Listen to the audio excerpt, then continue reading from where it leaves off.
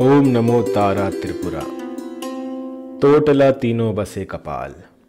अमृत टीका मैं करूँ, शत्रु जाए पयाल भक्तों, दिवाली आने वाली है, और इस दिन किया गया कोई भी कर्मकांड कभी खाली नहीं जाता। तो दिवाली पे आपको कहीं से भी शुद्ध गोरोचन प्राप्त कर लेना है। अगर गोरोचन ना मिले तो आप मुझसे भी ले सकते हैं। लेकिन इसमें शर्त ये रहेगी कि आपका गोरोचन असली होना चाहिए।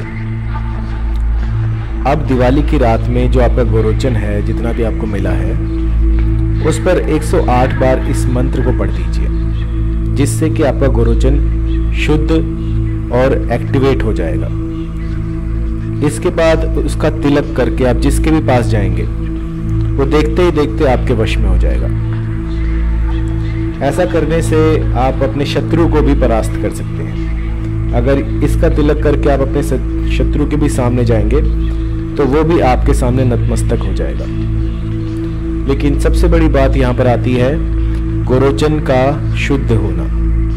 अगर आप बाज़ार से लेते हैं तो उसमें 90 परसेंट चांसेस होते हैं कि आपका गोरोचन नकली होगा।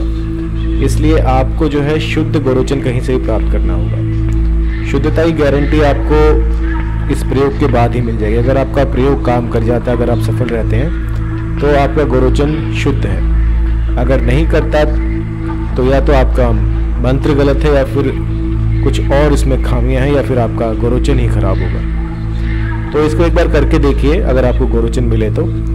और किसी भी तरह की जानकारी के लिए मुझे कॉल कीजिएगा triple nine two eight four सोलह पच्चीस पर।